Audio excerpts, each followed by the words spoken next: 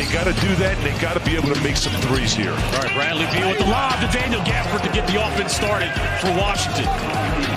Over 20 points a game. But watch what he does here. He goes in alert, straight lines it. He draws. Beal comes up with it. Wizards got numbers. Brad to Kispert in the corner. Count it. Corey Kispert.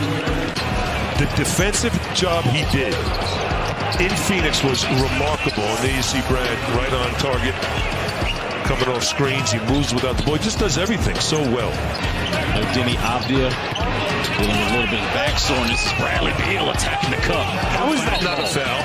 Does a nice job. Yeah, look at this, Chris. He goes up. Now watch this. He goes up. He gets hit with the body. That's a foul. 5.20 remaining here in the first half. Beal hits that one over the seven footer. Boy, that was tough, huh? Another tough bucket there by Clarkson. Comes up short. Here's Brad. Throws a lob to Corey Kispert. Great feed by Beal.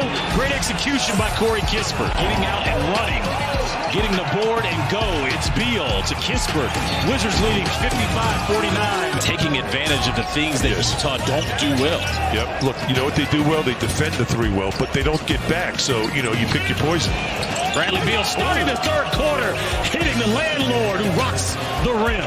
I get second chances. You see Bradley Beal once again looking for that great connection for the step. be useful to be able to go out here tonight in the altitude and give everything he could, which is why he's getting more rest tonight. Megan, thank you. As Bradley Beal scores on Sexton. I like that defense. There's a stop. Like that defense. Kuzma downhill. First Wizard not named Bradley Beal to score in the fourth quarter.